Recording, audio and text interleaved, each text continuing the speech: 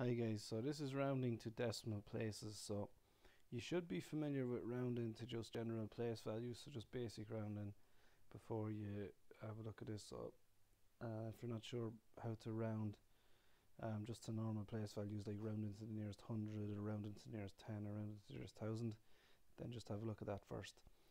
Uh, so here rounding to decimal places. Anyway a decimal place is a number after a decimal point. That's the first sentence that we've got here.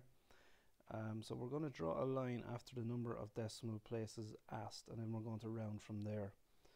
So let's have a look at the first example here. So 24.6782 so it says here to round to 3 dp so dp stands for decimal places.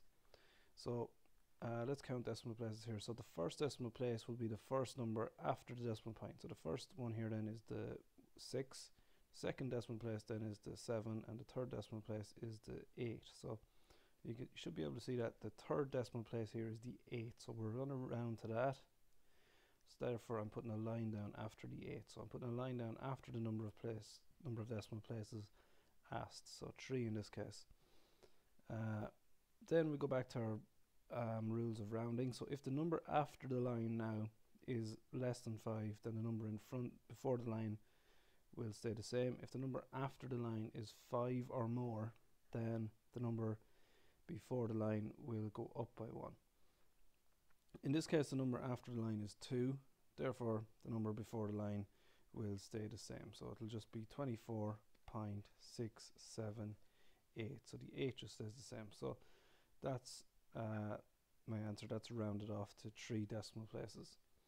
Second one here second one actually gets a little bit uh, more complicated. It says here to two decimal places so my first decimal place would be this first nine here. That would be the first decimal place. So then the second decimal place is actually the second nine. So my line would go down there after the second nine. Now watch what happens here so the 8 after the 9 means that the 9 in front of the line would go up by 1. But we've got a problem here because it's already 9. Uh, it can't really go up by 1. The next number would be 10 and that goes to two digits. So what happens is that will actually become a 0 and then the one next to it. So the one to the left will go up by 1. But again, you've got another 9 there. So uh, this 9 here needs to go up by 1 therefore it will become just become a zero and the one next will come up by one the, not the one next to the left will go up by one. In that case in this case it's five so it'll go up to a six. And then my decimal place obviously stays.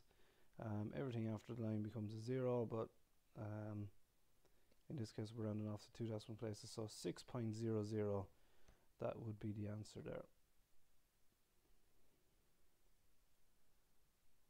So here's two more questions if you just want to pause the video and try them now, then I'll go through the answers.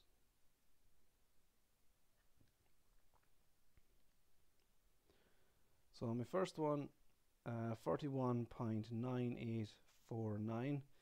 So it says to two decimal places. So the first decimal place here would be the 9 and the second decimal place would be the 8.